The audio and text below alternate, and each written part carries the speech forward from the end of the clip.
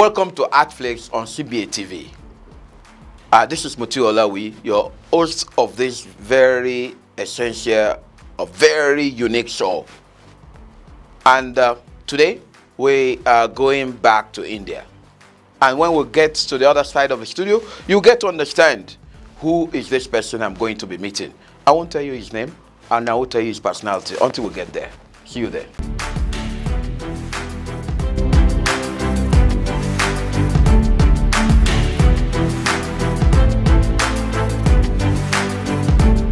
Welcome once again to the other side of the studio. As um, I've uh, promised you, today is going to be another story. We're going to another part of the world. Uh, we've been to that world before, but uh, we consider the generation closer to our own generation now, though the modern generation. We want to see the world farther than that and now exploring from that time up to this side. That's why we are moving to the India. The India is highly populated. We have a lot of writers in that place. And we are meeting Dr. Jernail. Dr. Jernail Singh Anand is um, a, a professional poet, a professional writer, a theorist, uh, a critic, analyst to the core. Dr. Jernail has written more than 60 books, more than 60, I mean, of his own. And he has published a lot of poems in thousands of different anthologies across the globe. He was involved in different international social activities in uh, Nigeria, in Pakistan, in the United States, in the UK, in Canada, every part of the world. His knowledge of technology has really assisted him to uh, do a lot of things for humanity. Um, we're going to be discussing in detail. Uh, it's good to hear from us his mouth. Uh, so he's going to be discussing about this when we go to the, other, the second part of this very important show. Dr. Jernail, welcome to the show. Thank you so much. I'm thankful for being invited by ArtFlakes. Thank you.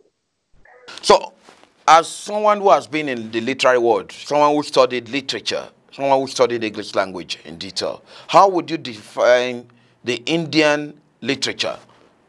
For me, Indian literature simply signifies uh, spirituality. Mm. In one in one line, I can say, uh, no doubt there are uh, in the current world, in contemporary scenario, there are so many currents that are taking place. We are facing globalization.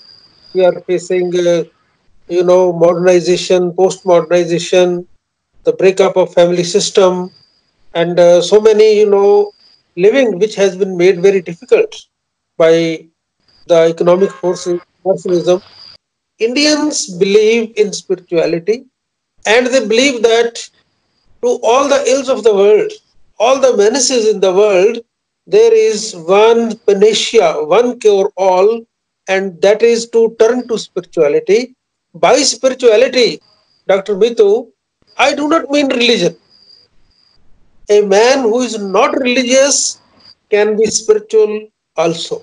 But we believe that uh, spirituality is the higher state of uh, you know religion. Religion is how you live. This is how you love. So spirituality means how you love the people how you love the creation. This is spirituality. This is not you are wearing black clothes you are wearing red clothes. This is religion. And we have to you know go beyond these limiting factors okay? So that we are able to find solutions to the problems which are, you know, deviling humanity today. It's interesting to know that you've been in the literary world before and uh, that the Indian literature is founded on spiritualism. Um, how would you compare the literary world of the Indians now uh, to the past? Uh, I feel that uh, literary activity today is in a ferment. In a ferment, there is a lot of uh, lot of people who are writing, and uh, you know, uh, media, multimedia, Facebook, WhatsApp. These uh, uh, you know tools actually have come to the help of uh, people, and they go on writing, and connectivity has helped people reach across all the regions. I tell you, 20 years back, when we would publish one book, it will be read by 20 people, 30 people, 50 people. But now, today, I wrote a poem, Shadows, yesterday. It has been read by 147 people in just two hours. So in this way, there is a lot of, uh, you know, dissemination of, uh, so literature as an, uh, the literary activity is also on the increase in India as compared to the past. Moreover, in the past we had four, five, ten, ten, uh, you know, great writers writing, whom people were reading. But now we have 200, 300, right? Hundreds of people are writing and they are read also. They are read or they make themselves read somehow. they, they make efforts so that they are read also. so people are publishing their books uh, it is a you know very good business also. People are making money also out of this. Publishers are making good money. Because everybody wants to reach to others and there is no other way except to publish and then publicize. So all these things are carrying on. Literary activity is on the rise i think uh, and this is a good sign for for the society. So would you say that indian writers are appreciated by indians of by people around them, or they're not? Of course, uh, the Indian writers who are able to reach the people are appreciated, no doubt. But you know, all the writers are not writers. I can say there are writers and writers. You understand this? There are writers and writers. So you are right. Those who are underwriters, right? Those who are underwriters, they write one book and then they get after the people in the literary academies and they try to get some sort of an award. Then there is all self-importance going on. So this is a, an activity which is going on. Moreover, in uh, academies, uh, literary academies also, which are run by the government, they put their hand-picked people with a with a certain vision. So they do not promote literature of. Oh, okay, in India, which of the uh, genres of literature is the most popular among the three uh, genres of literatures that we have? I mean, the drama, the prose, and poetry. Which of these is the most popular in India? India is known for its spirituality, let me say. And in the, that realm of spirituality, the great seers, the great sages, the great poets and prophets, they have sung their verses in poetry. So poetry is the dominant genre. So why is drama less appreciated, particularly by Indians? I told you uh, because I feel that uh, in the drama, the things are not said with symbols in poetry you use symbols. It means you are saying something indirectly. You are not directly throwing stones at if you don't like something you don't throw stones. In poetry you express your anger your anguish your angst with metaphors similes okay? But even in fiction even in fiction things are not direct. Things are just suggested. In novels things are suggested things are signified, but in drama, it is direct. Drama directly attacks the malaise wherever it is. That is why governments are afraid of drama. I believe this thing. Oh, so government fear uh, dramatists, I mean the playwrights, uh, more than other um, writers uh, like poets and uh, novelists. It's interesting to hear that. It's not only, I, I believe it is a universal uh, uh, problem. Uh, governments would not want you to see what is really happening. And since people do not like to write, so, and since players, uh, or what we call the, the plays are always staged, and it's difficult for them to, uh, they, they capture the emotion of people faster than uh, other parts. So it's reasonable if they don't get funds from government. Uh, I was even initially thinking that it is because it's less spiritual.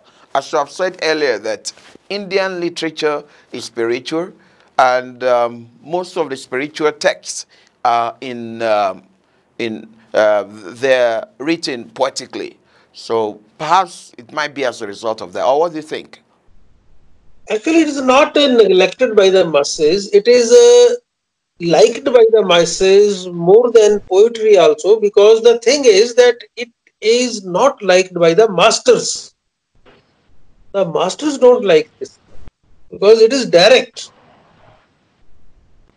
So uh, otherwise, uh, so far as uh, I told you, drama when it was presented in the form of two big serials, Ramayana and Mahabharata, it was very popular people would stop their cars and buses and see the serial at a particular time, prime time. So, drama is, you know, more natural to man. You know, we come from apes. You agree with me that um, writers are known as change makers anywhere they find themselves. What are Indian writers doing to take care of the masses or to protect the masses with their pen or their inks? The Indian society actually is under a change. Uh, it is under a transformation, and uh, I told you when you try to control the imagination of the people, when you try, when you try to tell the poets write this, write that, when you tell the people wear this, wear that. You know, too much of uh, indoctrination is not good. And at present, although there is a, a lot of liberty, lot of freedom for the people to write, but still, uh, you know, there are instances where people who express themselves against the uh, ruling uh, deity they are sometimes, you know, uh, trolled also. This trolling is going on in India, which is not a very good, healthy sign. Because writers and media, they are the mirrors of a society. And we cannot bribe the mirrors. If you bribe the mirrors, what will happen? They will not show you your face if they don't show you your face, how will you be able to, you know, correct your features, correct yourself? So these things are going on when you are controlling media, when you are trying to control education, when you are trying to control literature. These are not good. Certain freedom, actually, in the areas of thought, there should be freedom. I believe in this. And people in India, uh, poets in India are writing. Uh, there are, you know, one or two or three percent, I can say, some sort of uh, censorship type thing is there. Um, but mostly it is okay. And people are trying to express themselves if the government is doing something wrong. Ultimately, I tell you, poetry is not about clouds. Poetry is not about flowers. Thank you so much. I think we have over explored the world of um, the, the Indian writers. Uh, it has given us more information than before that we had from, uh, the, uh, from Sonnet Monday. Thank you so much for adding that. Viewers at home, uh, we'll be going for the break now. And when we come back from the break, we'll be looking at the world of this great writer, uh, Dr. Jernail Singh Anand. See you then.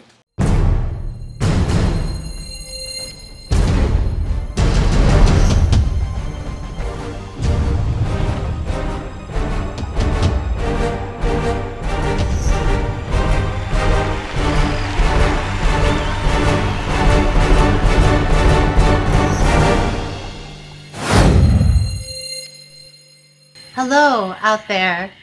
Tune in to CBA TV, the voice of East Africa and beyond. Uh, there's so many people around the world who are watching along with you. Welcome back, uh, viewers. Uh, we are on the show we call ArtFlakes, and there we discuss about the world beyond. The world within and the world beyond. So today we are back in India with Dr. Jernail. And this time around, we'll be exploring his own world, technically or indirectly exploring the world of India and beyond, all the world of the masses, which is within him. Um, Dr. Jernail, would you like to tell us how you become a literary activist? Actually, uh, my training in literature started when I was uh, in ninth standard. In the school itself, we had a very good tradition, very good teachers. They made us read, uh, you know, Gorky and uh, other literary texts from Russia, Tolstoy, Gorky, and even uh, great writers from my own state, Punjab. We read in ninth standard. That was the beginning. After that, I started writing, and then I tell you, my first book came in 1985 and after that uh, i went on writing. I was a lecturer in the department of english. Then i be, became principal also. But my you know self exploration i would call it did not stop. It went on to now i have uh, written some six or seven books in my mother tongue also. And total it is around 65 now. Recently i can show you. This is my recent work which has come up. Latest, it is an autobiographical novel, The Broken Narrative. This is the this is going around these days. And prior to this, let me share with my, your audience. Uh, these are the three uh, epics which I have written. This is the Satanic Empire. This was released last year, and prior to this, this Satanic Empire deals is a sequel to Dante's a Divine Comedy, Milton's Paradise Lost. It deals with that. And here is this uh, book, The Ganturbury Tales. It, you know, reworks Chaucer's The Canterbury Tales. So these are the three books. Yes, the I three remember. epics. And uh, mm-hmm. here is a book which uh, you were talking about biotext. This is uh, what I innovated. I innovated it with uh, an Iranian scholar uh, Dr. Rohaya Farsi. She is Rohaya Farsi. She has written this book about my writing, in which she has compared my writing with uh, T.S. Eliot's Wasteland and uh, with my book Bliss, which was translated into Iran, a Persian, has been uh, compared with uh, Khalil Gibran's The Prophet. It's interesting to know how your challenge in life has finally turned to what you become today. Um, that's a lesson for some of us who might be experiencing what we refer to as uh, complications at any level, whether at domestic level or the workplace. It is important to be consistent. Whether we like it or not, everything will finish one day. So here is the man who has now become a great icon for the world, particularly in literature. Uh, how did you become a social activist? Tell us about this part too. I have suffered a lot in my life.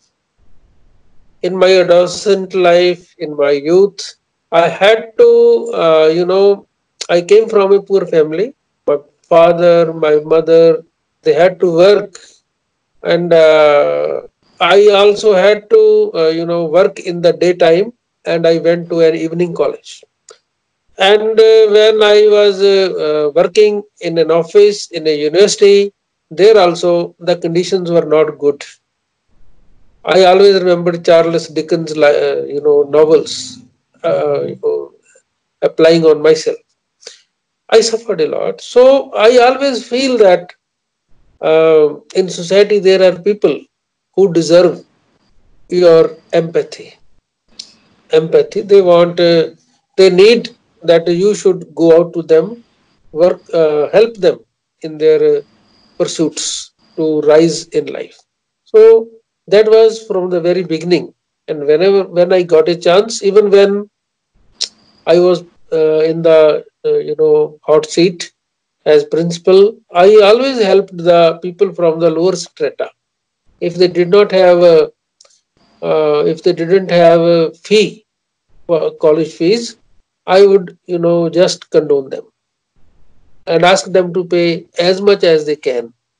So in this way, I helped many people, many people from very poor families who were able to complete their degrees. So this is a you know attitude, an attitude, a way of looking at life. I suffered, and whenever I see suffering, my heart goes out to the people.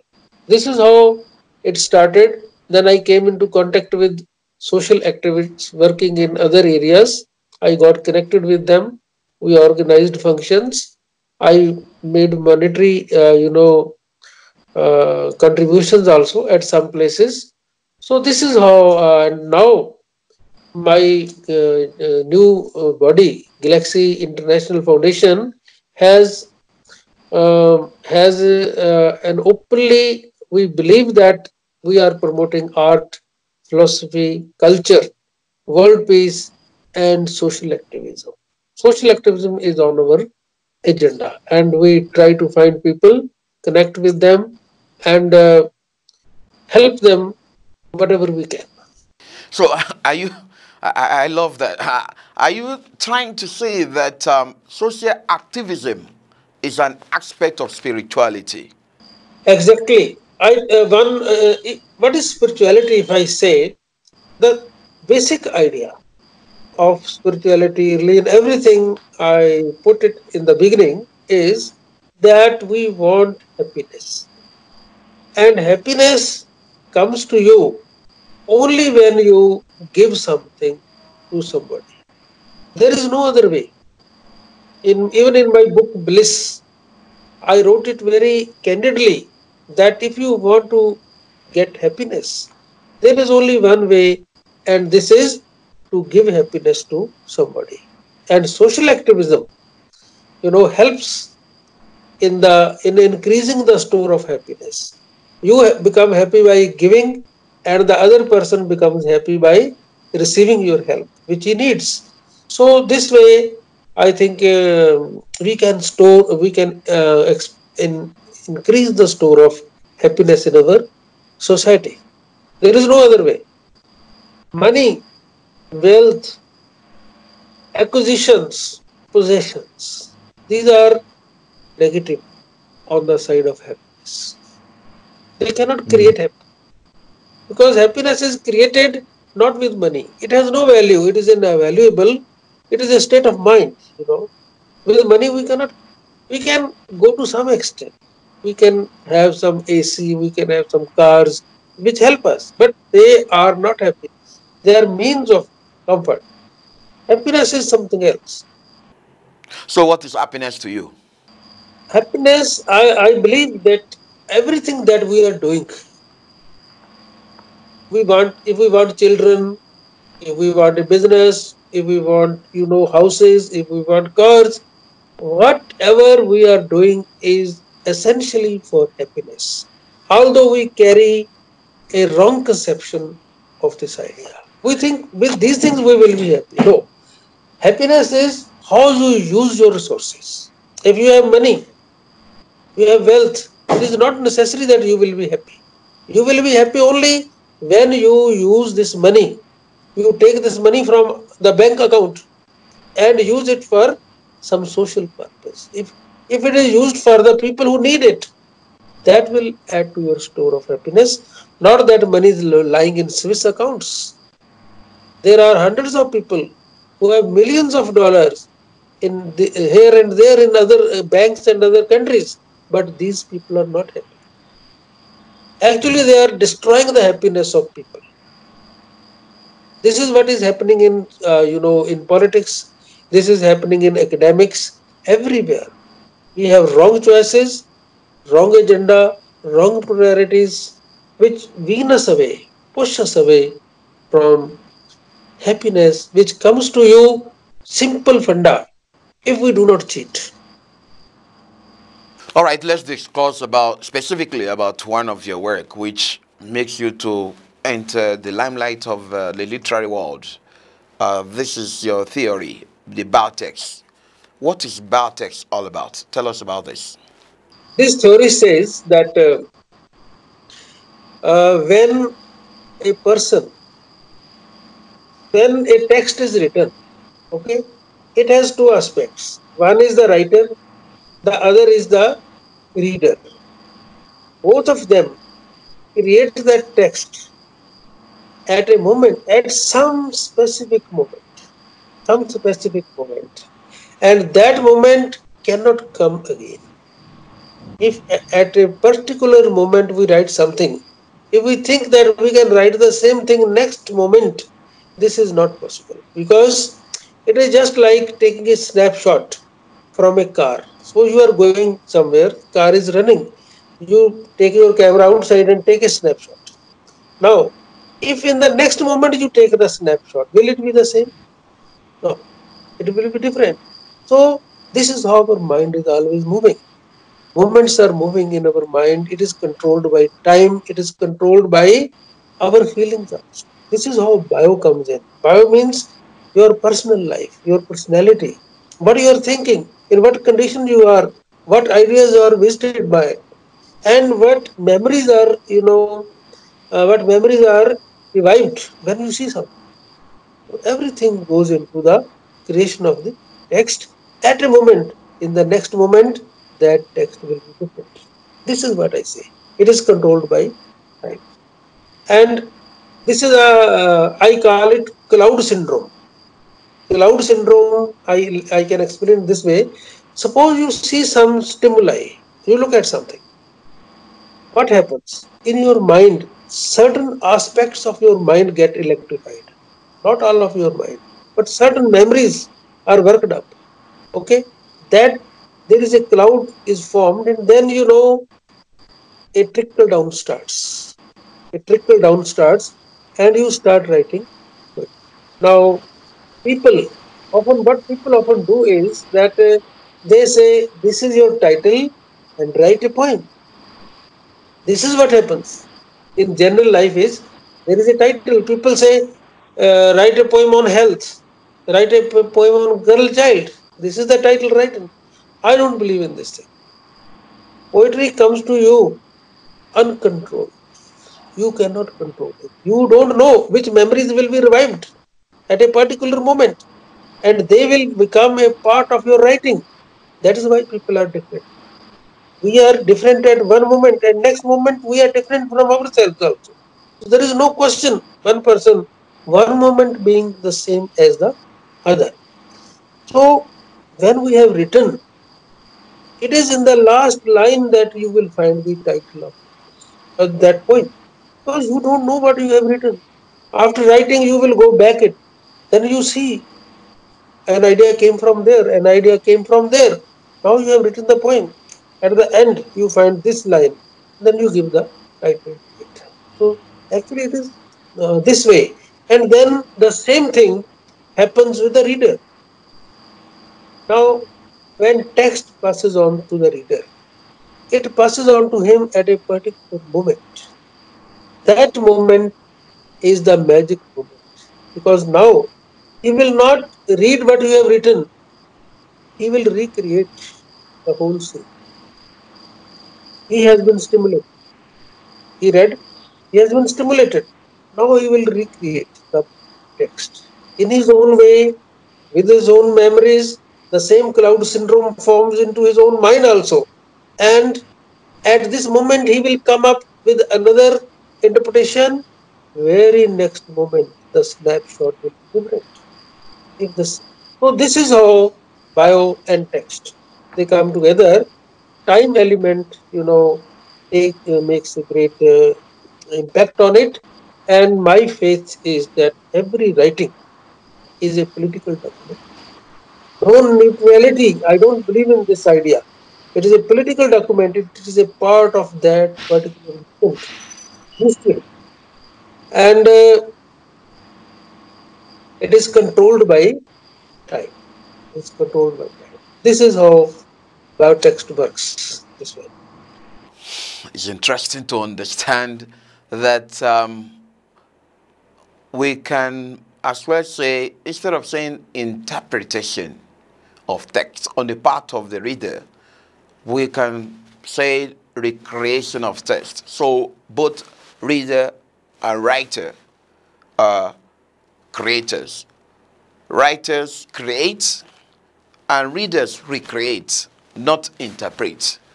It's very interesting to understand this. I think um, scholars who are really interested in um, exploring what we call the modern criticism or modern style of criticism, it's important to explore biotext, the theory propounded by Dr. Jernail. Um, Dr. Jernail, uh, what are you doing with other writers to sustain literary activism, not only in India, because you are borderless, with your background and everything, what are you doing to support literary activism, not only social activism, um, beyond India? Actually, uh, when uh, the way poetry is created these days, there are some poets who are well established and there are some poets who are coming up. There is a large army of uh, uh, poets who are coming up, who are writing their poems, who are getting a little bit of awards here and there, but they keep writing. The basic idea is that uh, when we look behind, we must see that some people are standing there at, in the queue behind us. So that way, it is very essential that we create, we water, we create our own kind. Poets must help other poets grow, those who are coming behind them. Now, the question is how they are writing. There is a lot of criticism in our, you know, Facebook and other places that young writers are not uh, very good at English. They don't uh, use good English idiom, language problems are also there. And I tell you, if we go to Italy or some other countries, even uh, uh countries like uh, Yugoslavia or something, English, they have problems in English sometimes, particularly young people. So I don't, I don't think that uh, we should close down on it. We should be liberal.